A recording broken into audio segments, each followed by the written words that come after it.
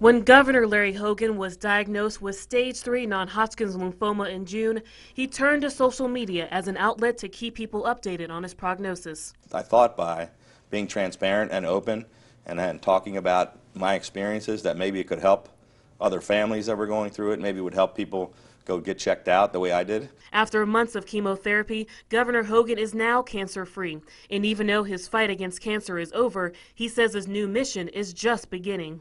I know what families go through. I'm going to do everything I can to continue to raise awareness and to raise money. And eventually, I want to you know, help somebody find a cure for this terrible disease that impacts so many people.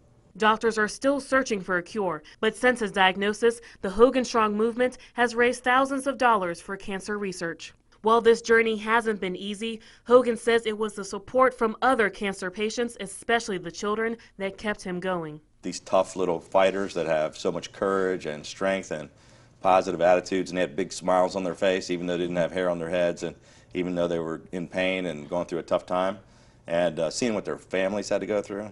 Um, so they really, I felt like I had nothing compared to the you know, the battles that they were going through. And like many cancer patients, Hogan lost his hair. This summer, he made a big reveal of his new look on Facebook. Now that he's in remission, Governor Hogan turned to Facebook again, this time asking people if he should grow his hair back or keep the bald look. I told her the first lady's going to make the decision. I asked her, and she said she doesn't care. Either way, it's good with her. But I have about three days of growth. I don't know if your viewers can see it. I got a little fuzz coming, uh, so I'm very excited. I think I'm going to grow the hair back. In Hagerstown, Kirstin Garriss, WHAG News.